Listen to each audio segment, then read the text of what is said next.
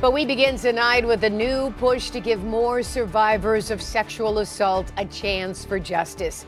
Good evening and welcome to 7 Action News at 11. I'm Carolyn Clifford. And I'm Mike Duffy. Some lawmakers say that Michigan's statute of limitations falls far short compared to many other states. But new legislation would extend the time victims have to come forward from age 28 to age 52. Tonight, 7 Action News reporter Brett Kast talked to a survivor who says Michigan needs to change.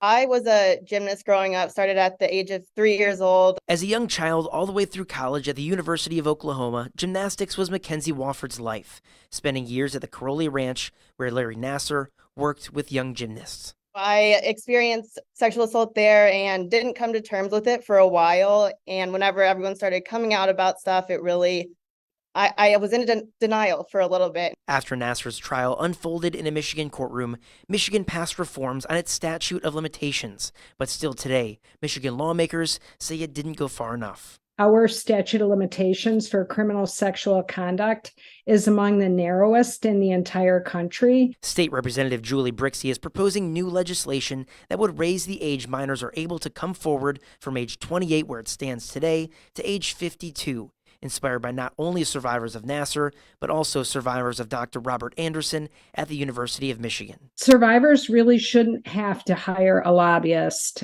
and pass legislation to seek justice in the courts. Everybody, no matter who their abuser is, should have access to our justice system. And that's exactly what this bill package does. According to Child USA, 52 is the average age survivors of sexual abuse come forward something attorneys like Jessica Glynn see firsthand. I have represented many survivors. Glynn says many of them suffered abuse as a child and are often impacted by statute of limitations. What is it like, you know, as an attorney to, to have to kind of tell someone that, you know, that, that there's nothing you can do to help them out?